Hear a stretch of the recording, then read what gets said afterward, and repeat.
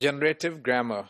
The first part of the 20th century has been influenced by structuralist approach to language or to grammar.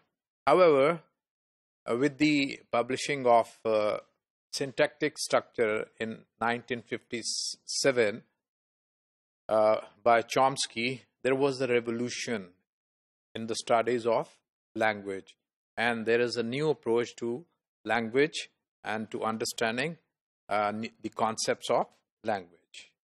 So, it's a linguistic theory that regards grammar as a system of rules that generates exactly those combinations of words that form grammatical sentences in a given language.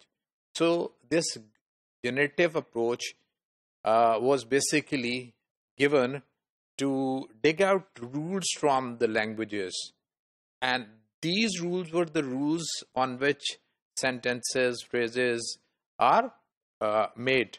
And they were the type of phrases or sentences which were considered correct by the native speakers. The generative school has focused on the study of syntax, how the uh, sentence, how the uh, the element of a sentence are arranged or ordered in a meaningful whole, but has also addressed other aspects of a language structure, including morphology and phonology. Uh, they have also worked on phonology, right, and morphology. The especially uh, with regards to phonology, the uh, the stress which has been very difficult to mark on the word was known to the people, to the uh, to the uh, academicians uh, by generative phonology, by the work on, uh, on phonology, which is known as generative phonology. Early version of Chomsky's theory were called transformational grammar. Early version was uh, this generative grammar was called transformational uh, generative grammar or transformational grammar TG in which he discusses about rules which actually transform sentences from deep level to the surface level, which is still used as a general term that includes his subsequent theories. So the same theory is used in deep and uh, uh, surface structure uh, that you will study later. Generativists have argued that many of the properties of uh, generative grammar arise from a universal grammar that is innate to the human brain rather than being learned from the environment. This was the basic approach of Chomsky. Chomsky believed that uh, people are hardwired or have an innate capability to use a language. So, what he says that the properties of generative grammar rise from a universal grammar. Universal grammar that all the human beings have a grammar uh, in an innate grammar in them, which is rule governed, uh, which which is governed by certain rules of that language. Noam Chomsky opposed the earlier theories of structuralism by rejecting the idea that each language is different from the other.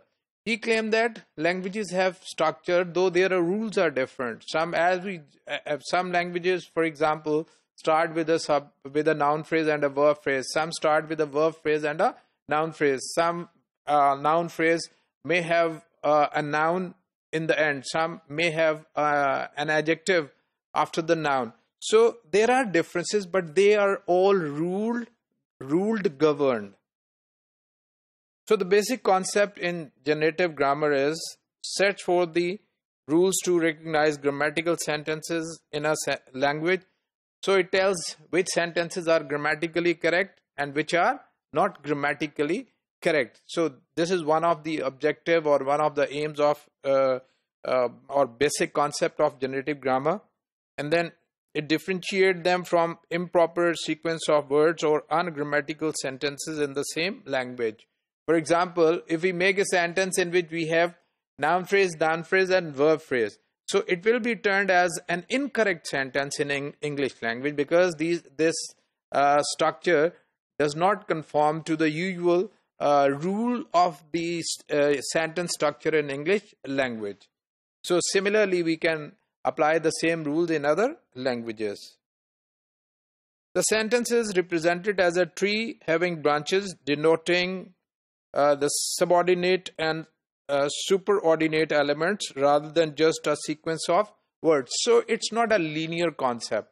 It try to understand the structure on the basis of a certain hierarchy in which there are some uh, subordinate and there are some super subordinate, right? So let's look at a sentence. We have a sentence and we can see that sentence consists of a noun phrase and a verb phrase. A noun phrase consists of a determiner and a noun phrase, the cat. And verb phrase consists of the verb ate and then noun phrase, determiner and noun phrase, the mouse. So we can know that sentence, the subordinate noun phrase is directly subordinate to the sentence in the first. And then the second noun phrase, the mouse is super subordinate to the verb phrase, which is subordinate to the sentence. So in this way, we can understand the hierarchy of the sentence in English and we know that which components, which elements are higher than the other elements. So, generative grammar attempts to formalize the implicit rule that a person uses while speaking his native language. So, when we speak our native language, the rules that basically uh, at work in our mind are brought forth or uh, brought into light uh, with the help of uh, generative grammar and the rules of generative grammar may appear to be useful only in language studies. However, they are helpful in language studies. So far as uh, uh, we, the type of language we use for teaching at our schools is a different type of language, or we we use the, the approach used here is uh, uh, used here is uh, prescriptive approach.